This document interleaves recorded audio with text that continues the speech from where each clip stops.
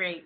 Welcome everyone to our OpenSim webinar. My name is Jen Hicks. I'm the Associate Director of our National Center for Simulation and Rehab Research, and I'll be serving as uh, the moderator for today's webinar.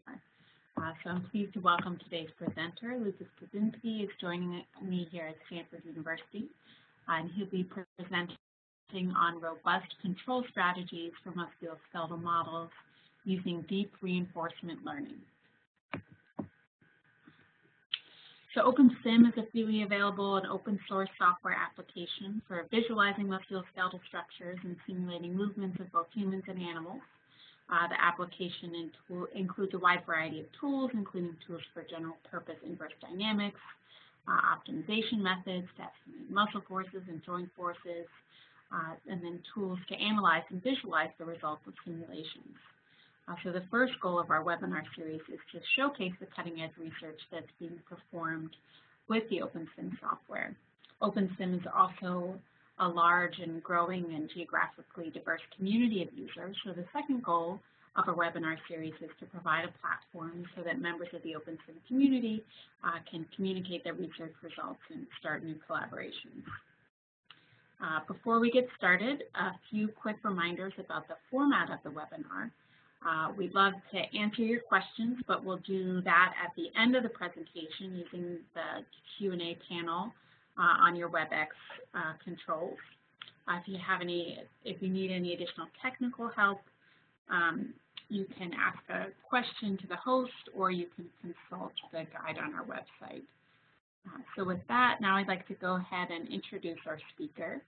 Uh, so Lukasz Kidzinski is a researcher here in the Mobilize Center at Stanford University, working at the intersection of computer science, statistics, and biomechanics.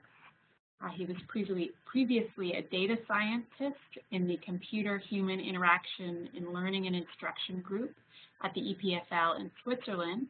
Uh, his main uh, interests and expertise include computational methods in biomedical data, uh, including applications of machine learning, data mining, big data, time series analysis, and statistics.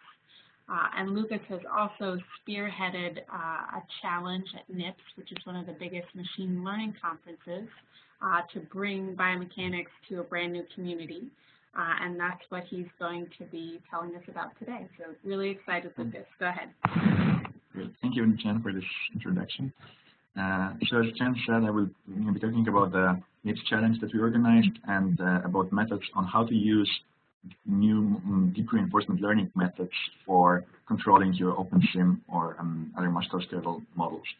Uh, this is joint work with um, people here in the lab at Stanford, especially with Carmichael Ong, and with 500 collaborators from all over the world. Uh, I will go back to that in a second. But first, let me uh, introduce the class of the problems that we're dealing with um, in our group at Stanford. So here you can see a patient in a gait clinic, and the patient has clearly um, problems with uh, with stable gait. So this is a patient with cerebral palsy. Cerebral palsy is a neurological disorder that affects uh, movement, that um, affects bone and muscle growth.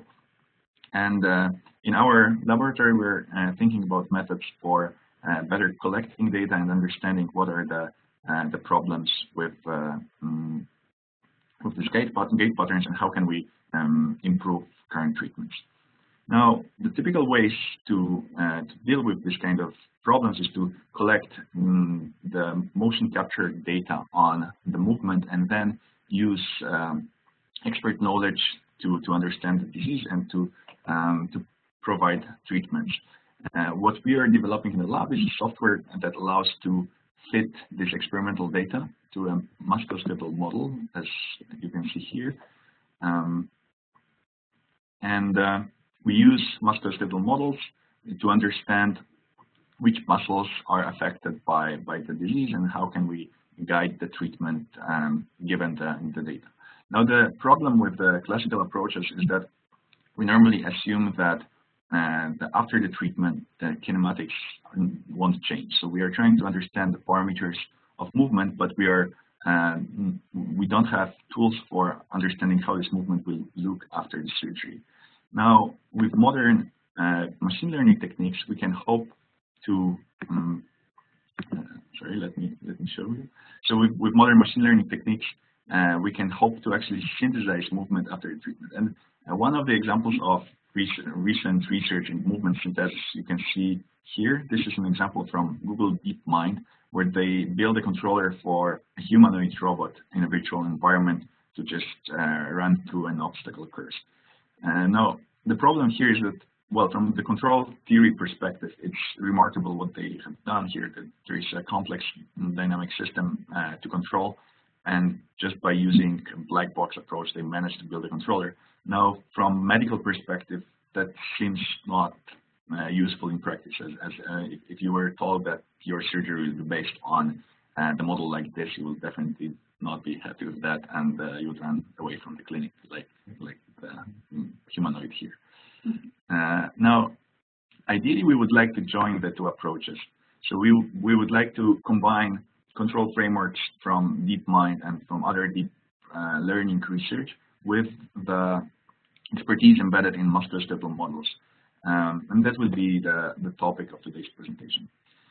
So let me start with a short outline. Uh, so first I will introduce the key concepts and problems uh, in uh, reinforcement learning. I will introduce the um, terminology and show you how you can train your first reinforcement learning models. Then I will talk about applications of reinforcement learning in biomechanics, in particular about uh, our collaboration with 500 people, as I, I said, which is uh, the challenge that we that we started. And um, then I will uh, finish with a short tutorial on how to use our software um, interface between uh, the musculoskeletal modeling OpenSim simulator and uh, the deep reinforcement learning methods available um, open source. Uh, so what, what is reinforcement learning? How, how reinforcement learning can help you with your work? So reinforcement learning, as I was mentioning, can allow you to adapt uh, kinematics um, to the new environment. So for example, if you have a model and you change certain parameters, you lengthen the muscle, you can predict with reinforcement learning uh, how the uh, control strategy will, uh, will be adopted to this new environment. Uh, since we can generate uh, new kinematics, we can also generate data for other models like statistical models. So for example, if you have a small experiment, but you want to generate some data similar to your experimental data, you could use reinforcement learning strategies to, to generate uh, kinematics and uh, joint, um, joint movement.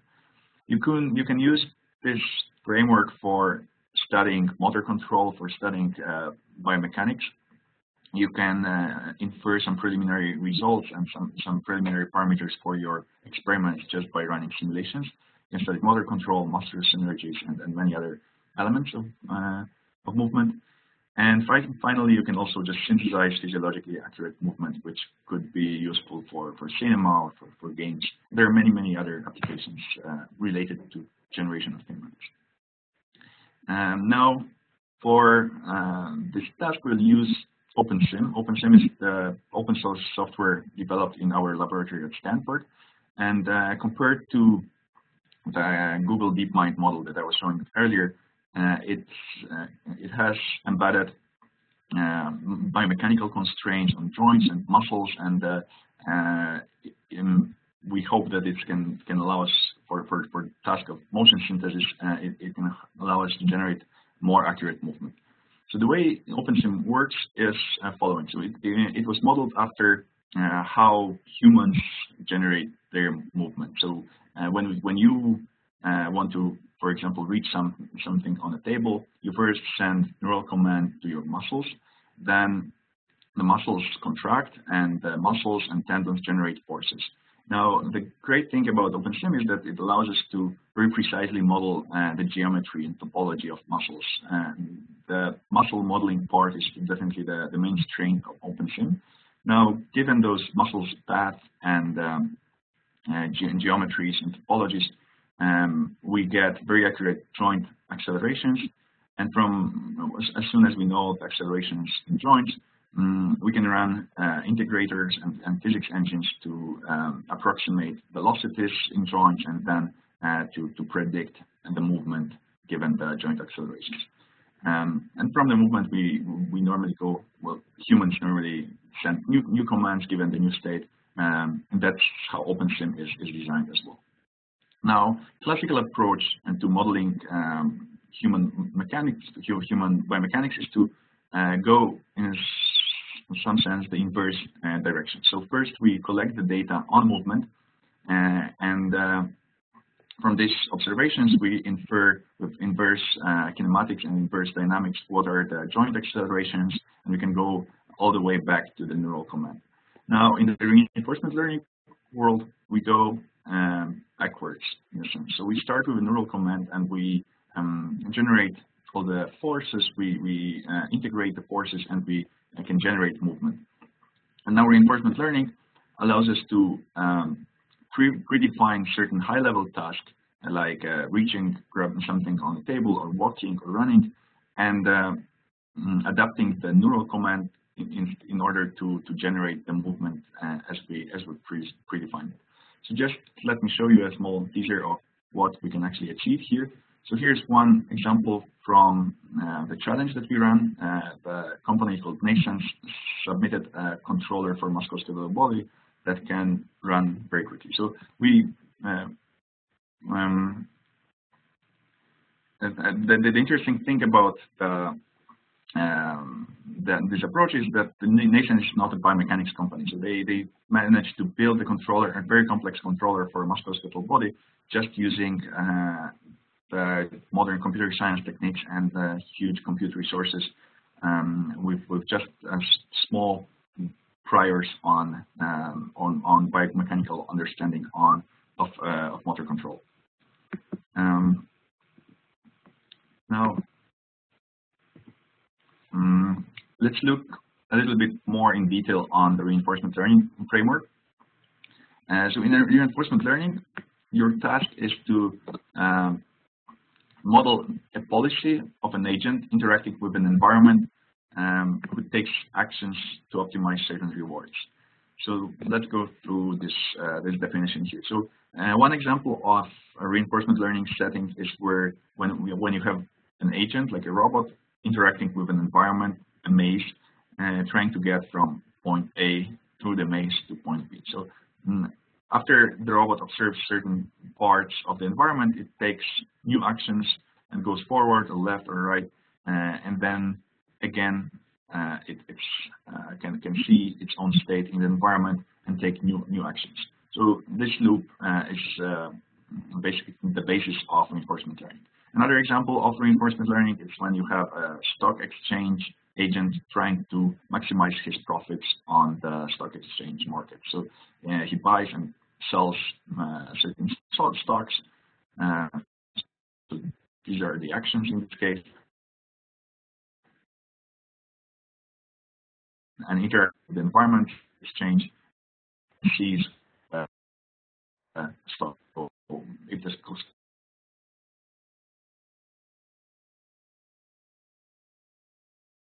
what I would like to talk about is the um, binary example, where whenever you are going to take any action,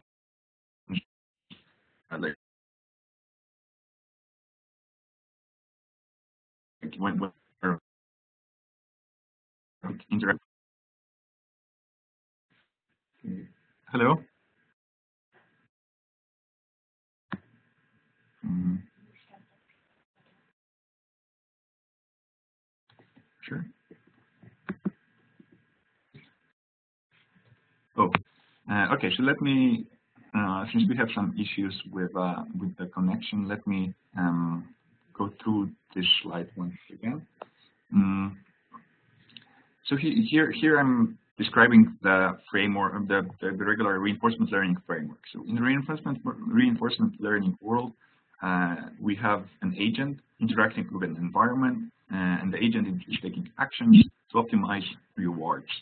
Um, examples of such interactions uh, include, for example, a ro robot interacting with a maze. So a robot is trying to go from a point A to a point B through a maze. Uh, actions are going forward, left, and right. Uh, observation is the current observation uh, in, in the maze. And then the reward is, for example, getting um, re reaching the goal uh, is, is, the final objective, and the reward is getting as close to as possible to this, uh, this uh, the end of the maze. Now, another example is a stock exchange agent trying to maximize his profits in the stock exchange market. So the, the agent is buying and selling stocks, the environment is the stock exchange, and the observation is the current state of the market. Uh, rewards are like discontinuous um, profits from, from the market. Finally, the, the, last example comes from your life. Uh, whenever you are um, interacting with the environment, so when you walk or try, you, when you are trying to reach something on the table, uh, you are interacting with the physical world, the environment, your actions are your muscle excitations. And with these muscle excitations, you change a little bit the state of the world. world. Uh, you get a reward when you uh, perform the task that you wanted to perform, and then you uh, you go back and uh, again mm, again send some actions to your muscles. So let's let's go a little bit deeper into this example. Uh, here is a video of um, an agent interacting with the environment um, getting rewards for um, achieving the task. The task is to learn to walk. Um, as you can see, the child is trying uh, hard not to fall. So falling is again some kind of, of uh, reward signal that it gets for understanding uh, how to better achieve the task of, of walking. Um, let's zoom in into uh, the elements of the reinforcement learning that um, appear here. So the agent, agent is this boy, and he tries to achieve the objective. Objective is walking. The reward is uh, are those short-term signals that he's receiving. So when he falls, he he, he feels bad and and learns that uh, he shouldn't fall. When mom claps in her hand, in her hand, um, she she gives a signal that um, encourages the child to walk. Uh, so here are the rewards and penalties. Penalty is just negative reward, so falling is a negative reward. And then uh, we have observations and actions. Observation, what the, what the child observes is of course what uh, the child sees with his eyes, um, but also um, the nerves, the sensors in the, in the skin, uh, the sensors in muscles and joints are all the um, are, are all uh, parts of the observation here. And the actions are muscle excitations. Um, and finally, uh, the, the, the, key um, concept in reinforcement learning is the policy which links observation with action. So the child uh, receives the signal in the spinal cord, in the, in the brain, um, and based on the signals, um, tries to take actions. And this, this linking and the mapping of observation and action is called a policy. Let's look into details in the policy uh, from a more technical perspective. So policy, as I mentioned, maps states to actions. So if you have a state space S and the action space A, the policy is a function from states to actions. I parameterize this policy with the parameter theta here uh, because in practice, uh, a policy in reinforcement learning algorithms uh, is a statistical model parameterized with a certain parameter theta. And theta can be any um, object in uh, some high dimensional space uh, P. Now, when we trace uh, the policy, when, when we define a policy like this, we can think about our optimization problem or our reinforcement learning problem as a problem where we are trying to um, find the best parameter theta and, and best in the sense of maximizing the rewards throughout the um, throughout the trial. So we have a trajectory of um, of states or observations um, for a given policy. So the the policy um, defines the next state. For for the starting point, we apply the policy, we get the next state. In the next state, we apply the same policy, and then we get the next state. And from this trajectory, uh, given the theta, uh, we can infer the, the rewards. And some of those rewards is our total reward, and we want to optimize this quantity. And the example of the policy could be just a linear model, for example. So uh, when we have a states in some uh, uh, high dimensional space, uh, we can multiply it with a matrix of coefficients of linear regression coefficients and get state of uh, get space of functions. Uh, and then the uh, parameter theta in this case are just the um, coefficients of the um, linear model. Another policy that is now very heavily used in practice is a neural network. Neural network can be seen as a um, as a model where uh, we have stacked linear regressions. So we start with this uh, state again, uh, six-dimensional in this case. Uh, we multiply it with mm, linear with a, with a mapping matrix to get the hidden hidden layer. Uh, this hidden layer can be any dimension we want. Um, we get some values here, and normally we apply some nonlinearity on this uh, hidden layer, uh, and then we run another linear regression to get the state, the the action. Um, and again, like in this example, what we are trying to optimize are the parameters theta in such a way that the actions generated by the policy are getting uh, us the highest reward possible.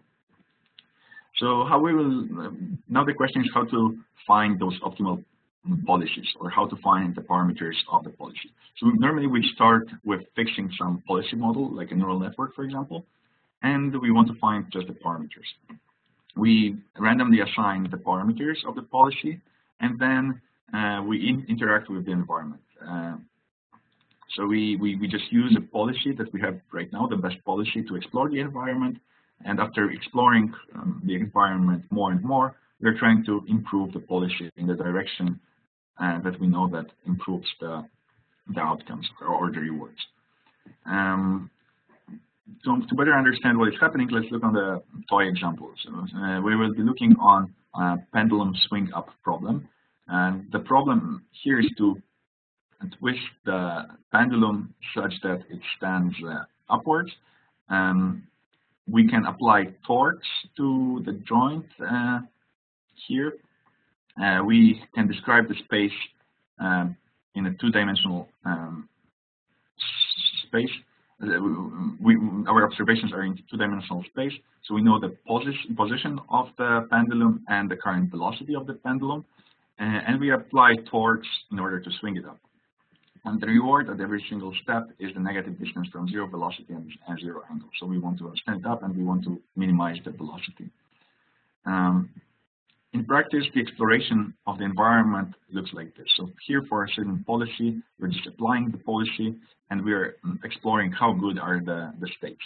So uh, on the y and on the x-axis, we have the current position of the pendulum, uh, the, the, the current angle while on the y-axis we have the current velocity.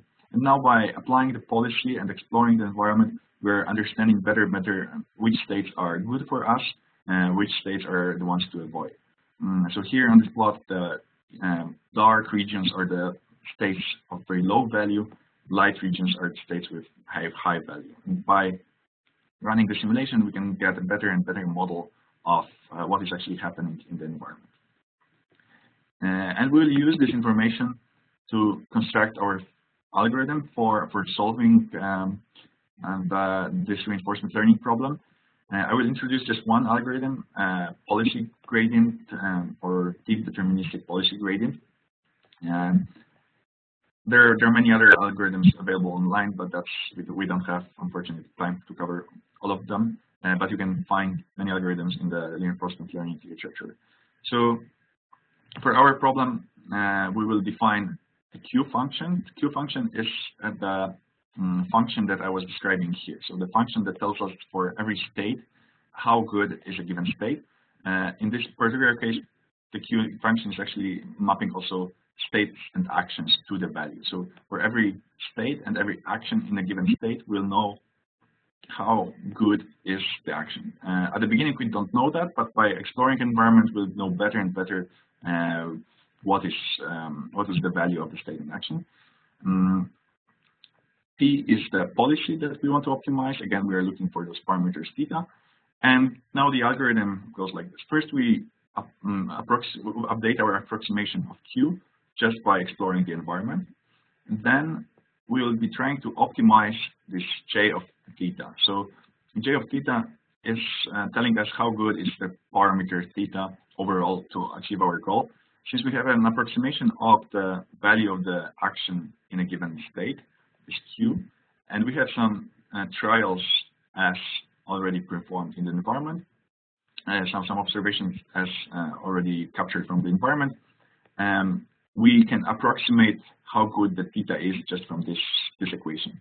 Now, since we are modeling some um, both Q and P by differentiable functions, so normally the model for Q is another neural network, and we can differentiate this J of theta and get a gradient of J, and this gradient of J with respect to theta uh, will tell us in which direction we should change theta to achieve a better value in this function, uh, and uh, uh finally the better better value uh, of the um, policy overall.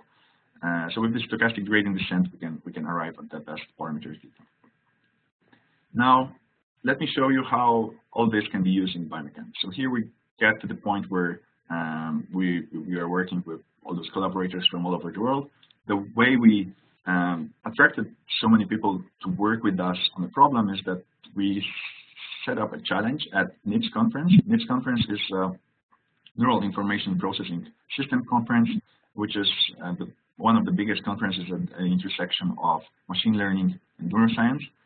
Um, and the problem we defined for the for the competition is following. We have a musculoskeletal model, musculoskeletal model with 18 muscles and nine degrees of freedom. And we want uh, participants to uh, build a controller to move forward as quickly as possible. And the actual objective is to cover as much distance as possible uh, in 10 seconds. Um, we observe the state of the model, the state of uh, muscles, bones, and joints, positions and, and rotations. And um, uh, we send muscle excitations as actions. And the reward um, at every single step is the current speed. And that, that's how, so, so if we define the reward like this, then if we integrate over the entire trial, we get the distance. Uh, there are some, some details here. So uh, we also put obstacles in the ground to make the model more robust uh, or to force more robust solutions. Uh, the model is 2D, so it cannot fall sideways uh, to simplify a little bit the problem. And we don't allow users to use experimental data, um, just to make it purely reinforcement learning at this, at this stage. And as I was showing you earlier, the top solutions, the top solution looks like this.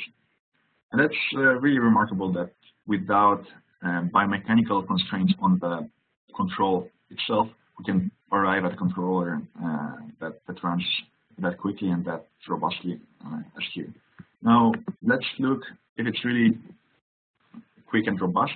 So we compared solutions from the challenge with experimental data. And here you can see solutions divided into three categories solutions with this running speed at over 4 meters per second, uh, between 3 and 4 meters per second, and below 3 meters per second.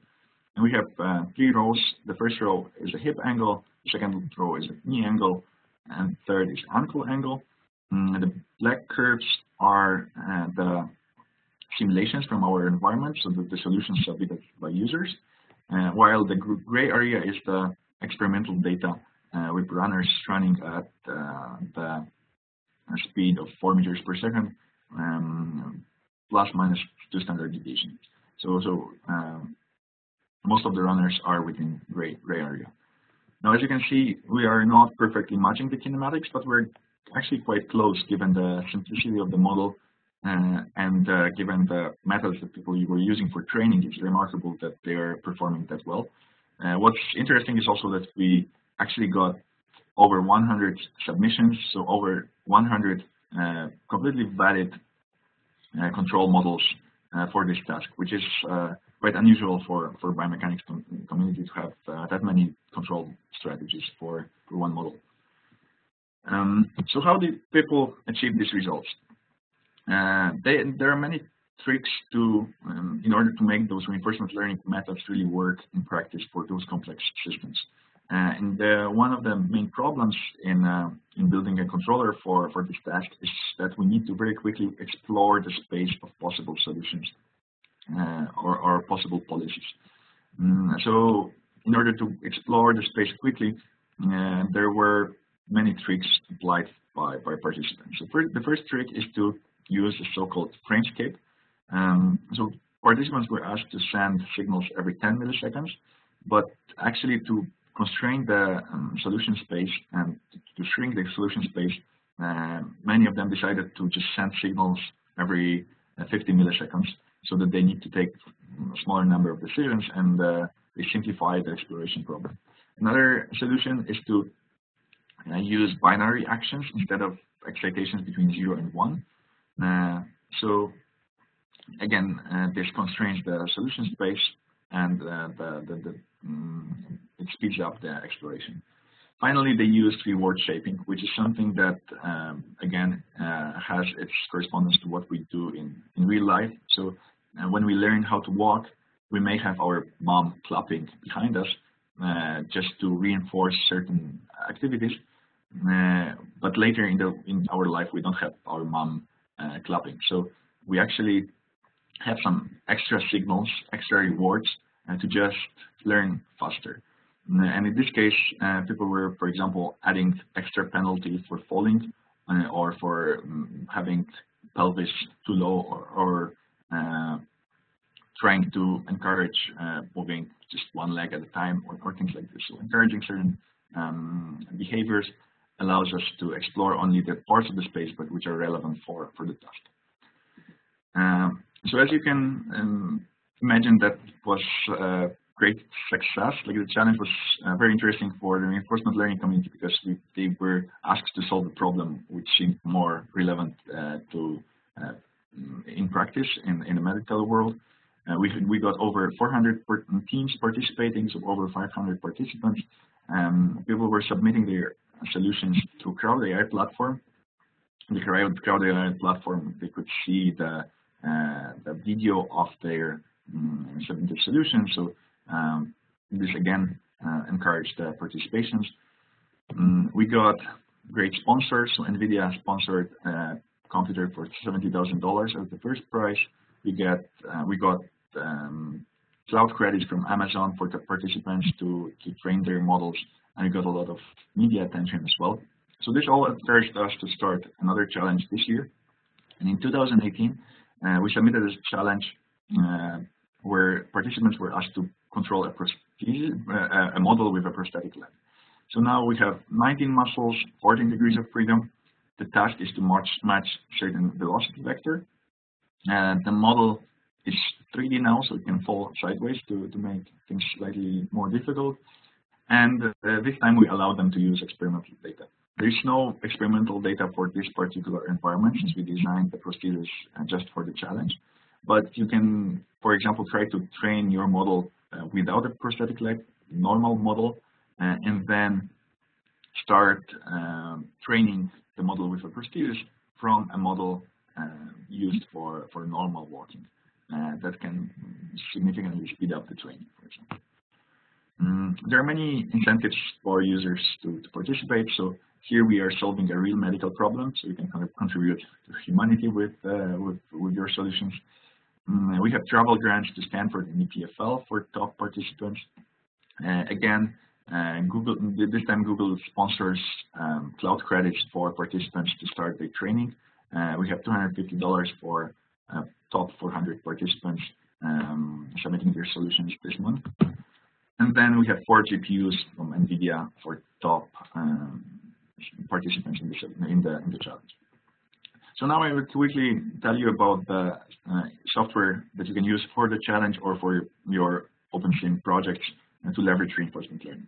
So it's called OSIM-RL, and OSIM-RL is um, an interface for building robust controllers for your OpenSim models using deep reinforcement learning uh, algorithms. Um, the idea is that uh, we have a great expertise embedded in OpenSim models, and there's a lot of interest um, now in, in creating new deep reinforcement learning models from machine learning community. Uh, so OpenSim uh, is a layer on top of Open OpenSim RL is a layer on top of OpenSim, which basically uh, provides three simple functions which you can just uh, use to plug in the reinforcement learning algorithms. Uh, to install um, which you can just go to this website here, and there, with five lines of code, uh, you, you, you can install the entire environment and run your first simulations. Let's, let me show you how it looks in practice. Uh, so to, to run an, um, a simulation, you basically will need five line, lines of code. You'll need to create the environment. So here's the prosthetics environment, but uh, you can load any other model that you like. Um, you can get your first observation by just resetting the environment. And then yeah, you can run 200 um, steps of the simulation uh, just by taking environment step function. Now here the brain action is the policy action. So I'm here, I'm assuming that there is some policy already pre-trained uh, that takes observations, uh, outputs the actions. Those actions are then plug into the step function. The step function gives us the next observation. Uh, how does that link to, to what is happening in the OpenSim? Uh, so OpenSim model, um, general model looks like this as I introduced you to you at the very beginning. Now the environment is this red part of the uh, OpenSim. So the entire environment function takes care of all the muscle dynamics, our bone ge geometry and muscle geometry, it uh, can compute joint accelerations and generate movement, and it's all embedded in the environment in this uh, in this uh, scenario. Now, observation is just movement, and uh, the policy is the brain taking action given the observation. So the, the movement goes back to our neural command, and neural command is the brain that we're trying to train uh, using reinforcement learning. Uh, so let me show you how that will look, how that looks in practice. Uh, so we will be using uh,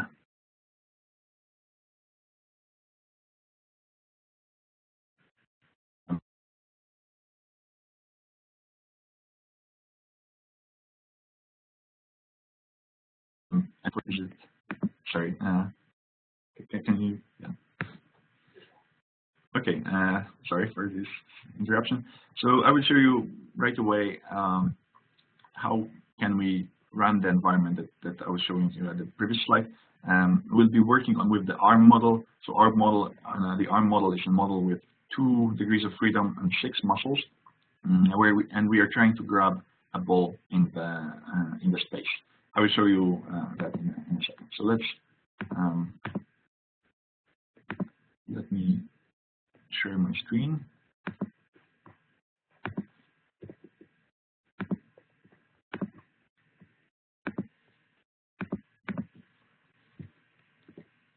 So uh, we will be using Jupyter Notebook for this example. Uh, and I have the environment prepared in Jupyter Notebook and the link is uh, um, in the in the slides that you will be getting after um, after the webinar. Uh, so basically, to to run the Jupyter Notebook, you will just need to run those six commands here, um, assuming that everything is installed correctly. Now, in order to train your controllers using reinforcement learning um, for OpenSim, uh, you will need to um, load certain libraries. So the libraries here are mainly the um, RL library, Keras RL, which will take care of training the model, and um, uh, OpenSim library that, that just loads the environment. Um, now, to start the ARM model, you just load the ARM environment and you start the environment, as I was showing in the slides. Um, the environment will show up like this first. And then you can create your policy model. A policy model is a neural network that takes uh, um, current observation and outputs the actions. And then the Q network is the model, the current model of the state space, uh, state action space and value of the state action uh, point. Um, as I was describing in the DDPG algorithm. And then finally, the Keras RL given those two neural networks will train them. The training, uh, so so here are the, all the parameters that are quite crucial for getting the the right um, optimization process. Uh, you can uh, find them in the um, documentation of the um, of the Keras RL package. And but basically, once everything is set up, you just start training your model, and you can see um, how the training procedure uh, looks like in practice. So here we just randomly activate muscles, um, and uh, the OpenSim is taking care of the physics in the environment. The model is trying to reach to grab the green ball, uh, and after many many iterations, it will be able to uh, to activate muscles in a way to, to, to reach for for the ball. Now, just quick uh, demo demo of how you can load your own model. So I prepared for this webinar another model uh, that you can use for for plugging in um, your your own things. So here we are loading another OpenSim model. We are defining certain reward function. Uh, the reward here will be just trying not to move center of mass, uh, so trying to simulate just standing still. Uh, and there's an extra penalty for for having a pelvis too low. So given this environment, we can run everything else just by changing the environment here. So uh, let's load the environment from webinar import standing environment and then um,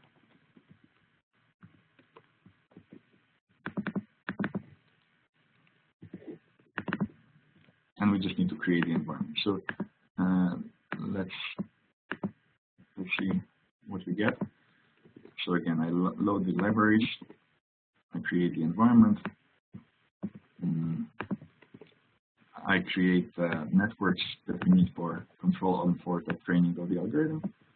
Uh, I set up the um, algorithm for training, and I start fitting the model. Now we have a different model uh, where it tries to learn how to stand. So again, by applying some um, the current policy with some noise, it explores the environment and learns how to uh, how to stand still. It will take a while to to learn, uh, and we don't have time for that. But way you can plug any other um, any other model that you want to train just by changing the name of the model and by defining the reward function. So now the last slide is a summary of, of what, what we've learned. So uh, I try to introduce mainly two concepts. So first, the reinforcement learning uh, is the methodology that allows you to build robust controllers uh, just by specifying high-level objectives for your model, like grabbing something or uh, or walking.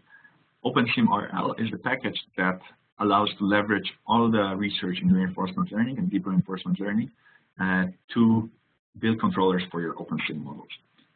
Uh, thank you very much for your attention, and uh, I'm happy to take questions.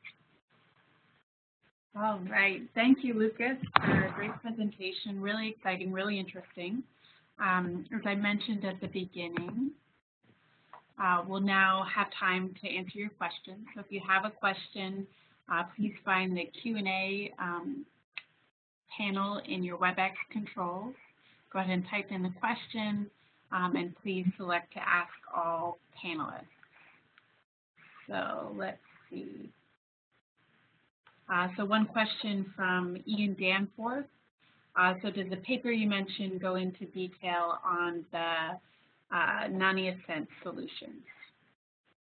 Um, yeah, so the NNAISENSE solution will be published in the NIPS competition book. It's not yet uh, published, but it should be ready in, within a month.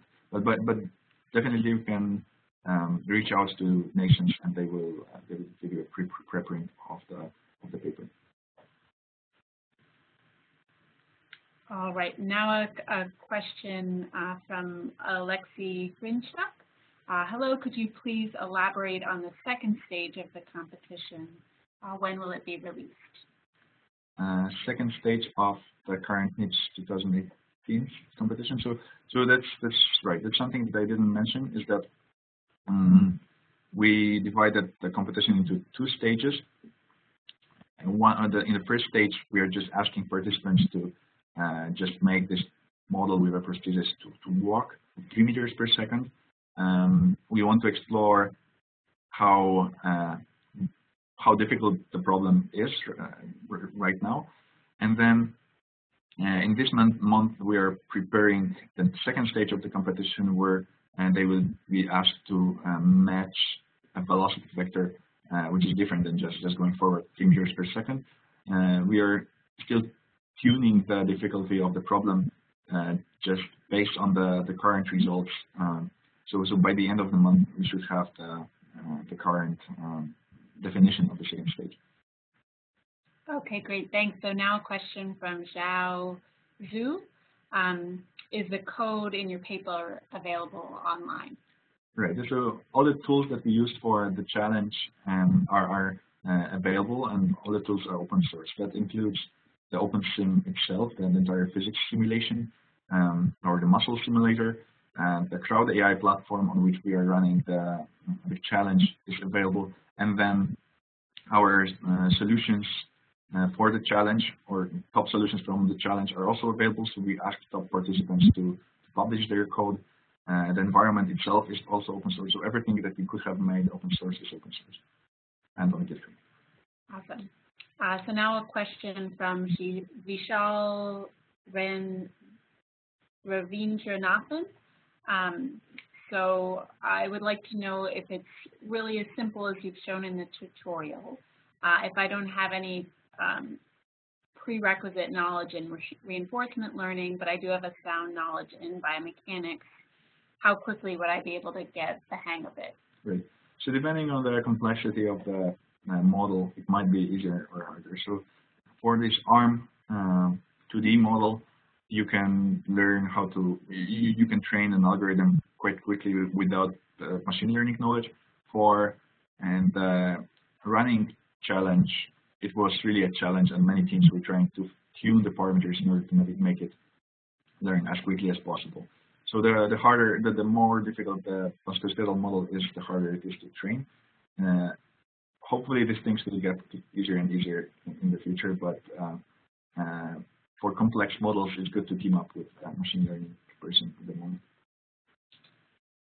Okay. Are there any, is there any way that, you know, folks, if there are biomechanics folks, could try to pair up with machine? Is there a right. forum or anything? Um, right. So, so around the challenge, we have a fairly large community of, of participants already, and participants are mainly from computer science community. So they are definitely willing to collaborate on building controllers and uh, getting more uh, information about uh, motor control from experts in motor control or like from biomechanics. Uh, and uh, that's um, it's probably good to just contact them through forum and and uh, um, just just collaborate on both control problems and biomechanics problems. Okay, so we'll make sure that we have a link in the forum, and you could just post a note that you're interested, what your background is, and um, pair up with someone that way. Right. Okay, now a question from Tom van den Bogert. Um, how many simulations are typically needed before you start to see good movements? Um, and how does this depend on the number of layers in the neural network? So uh, the neural network models are normally quite simple for reinforcement learning. So there are three or four layers uh, and, and not that many parameters actually, like um, of order of magnitude of, of 30 or 100. Um, the problem is that the exploration of the space takes time. So now if the model, if the space uh, of space is small, like the, in the ARM2D model, you can get results within an hour. Now for the model that we gave for the challenge, people were training their models for a week on um, a solid, strong computer with like 30 CPUs. So depending on the complexity of the model, the exploration is harder or easier. And uh, that can um, affect how quickly you, you, you can you can get a solution. Great. Uh, now a question from Wellington Pingiero. Um, he would like he would like to know which criteria are you using to define the control as robust? What kind of uncertainties are considered? Right. So de depending on what you actually need for for your particular task, uh, you can introduce some external noise in the uh, observations, for example, or um, for, for, for the challenge, we just put obstacles on the ground, uh, and that was um, uh, the, in, in, the, in the challenge, we didn't want to have uh, solutions which are purely based on, on the data, for example, uh, and putting obstacles made it difficult enough for, for training and just using experimental data. Uh, in many scenarios, you don't, robustness is not that important actually. You just want to generate something that, is, that looks feasible. Um, so I, I, would say that this really depends on the task, but you can introduce as much uh, difficulty as you want, and that will make the model more robust. And robust means that it's not falling over and, right. and achieves the, the task. Right. In our challenge, yeah. was that, right? Um, so now a question from Ro Pang Sun. Uh, thanks for the interest, interesting presentation. I wonder if adding upper trunk and arm muscles in the model would be a goal for the future, uh, given that they play a critical role in stability control during locomotion. Right. So, can I say, would you like to? Uh, sure, I can. Uh, yeah, hi everyone, I'm Carmichael. I'm a, I'm a grad student. I was working on the biomechanics part um, of this collaboration. Um, arm swing is really important, and it's especially important in running. There's a lot of information that it um, counteracts some of the angular momentum of the legs. Um, I think in, I think it depends on the problem. It's definitely important. Uh, it's probably more passive in something like walking than in running. Um, but definitely for looking at running, it's going to be really important to look at the upper trunk and the, um, sorry, the, the trunk and, and the uh, upper limbs. Mm -hmm. Okay, now a question from Ree Gerchek. Uh, are users able to modify the mapping policy? Right, so um, in the current implementation, we don't really assume any uh, structure of the controller. In the reinforcement learning world, people are mainly using neural networks. And now, uh, once we have a statistical model complex enough to, to, to really be able to, to, to control such a system, uh, it's uh, it's not the, the entire methodology is not uh, is, is, is robust to, to, to the model. So you can try different models, but that does not help much in uh, in training. Uh, for the method that I was showing, it, it must be a neural network, and um, it uh, parameters of this neural network will vary, and you will learn them through through interaction with the environment and through the algorithm. Um, but in principle, you could use OSIM RL with any other uh, policy model that you like and with any other training of the parameters. So yes, you can change it, but that's that won't help you that much from our experience so far. But that's uh, definitely an active area of, of research now. Okay, so we have time for one or two more questions. Uh, now a question from Ian Danforth. Um, so do you see a faster version of OpenSim coming out in the near future? Um, I mean, from a, so speaking from the OpenSim development side, you know, that is something that we're, you know, with each release, we're um, trying to focus on is improving computation speed. Uh, I think it's a balance here because, you know, there are some faster dynamics engines, but then you start to move away from being physiologically and physically accurate. Like if you start to get sloppy with how you're modeling contact, for example, or you don't include the physiologically accurate muscle models. Um, you know, so it's it's OpenSim will never be as fast as an engine that's that's not uh, completely physically accurate, but um, we are researching, for example, ways to make contact modeling faster but still uh, be physically accurate.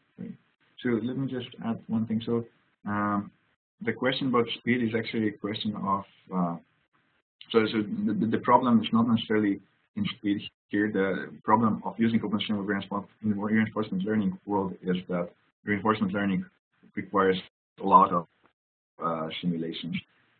So the final simulation, once you have your model trained, is actually fast enough for any practical. The problem is the training of your, your model. So um, we are exploring methods for just training a simplified version uh, or like very constrained version of OpenSim where we can run simulations much faster. And then at the very end, just fine tune it for the final simulation where you want to really have this physiological uh, accuracy. Uh, so I think it's not on the, the, the problem here is not only about speed of OpenSim, but the entire infrastructure and, and entire um, algorithm design. Um, and uh, there are many opportunities to, to train those controllers faster without um, making uh, OpenSim uh, like 100 times faster. So there are uh, definitely, again, like things to, to explore from the research side and engineering as well. Great, thanks. Uh, so we'll take one more question. Uh, this is from Vishal again. Uh, so I did see that there are muscle and kinematic data provided on the home page. How could we use it to help train the model? So that's something that we are uh, also thinking in the lab how to solve. Uh, so there are multiple ideas that we have right now. So first we could try to design an objective function uh, that matches the kinematics. So you penalize um, not being close to, to the kinematic data. Another idea is to pre-train network on output of some inverse dynamics uh, procedure. So you get the kinematics data, from kinematics data you infer muscle activity, and then you build a neural network in a supervised manner where you try to predict um, the muscle activity from uh, the kinematics data. Uh, and then from this, you use this as a starting point for the reinforcement learning algorithm. Uh, so, so those are two ideas, uh, but we are, you, you can try many other things as well. And that's also that we, we uh, left it open on purpose in some sense so that people can really uh, try their own ideas for this problem. Okay, so we better go ahead and wrap up. Thank you everyone for the really great questions uh, and discussion afterwards here. Oops, I'm going backwards.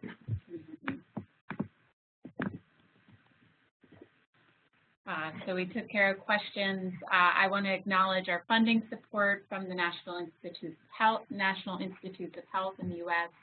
Um, you can learn more about OpenSim in general at our website, uh, and we encourage you to fill out the survey that will appear after the webinar ends so you can give us feedback on the webinar itself and give us ideas for future topics. I will also follow up the webinar with an email that has links to all the things we talked about today. Uh, so thank you again, Lukasz. Thank you to everyone who participated uh, and asked so many great questions. Um, we'll see